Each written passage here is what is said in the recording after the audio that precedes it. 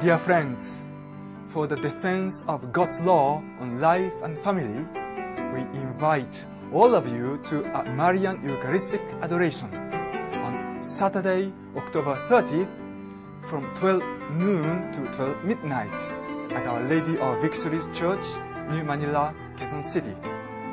The church is a five-minute walk from the Betigo Belmonte LRT station along Aurora Boulevard. Please join our Rosary Crusade. This is Father Thomas Onoda in the hearts of Jesus and Mary. God bless you.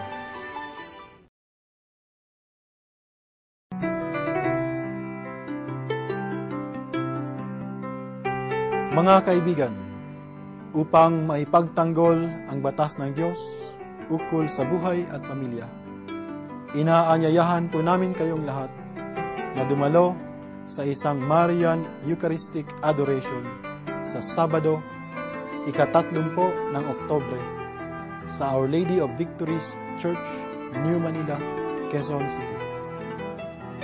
Ito po ay limang minutong lakad lamang mula sa Betigo Belmonte LRT Station. Kami ay umaasa na makasama kayo sa araw na ito. Lahat ng suliranin ay nabibigyang lunas ng sama-samang pagdarasal, lalong-lalo na ng Santo Rosario. Pagpalain kayo ng Panginoon.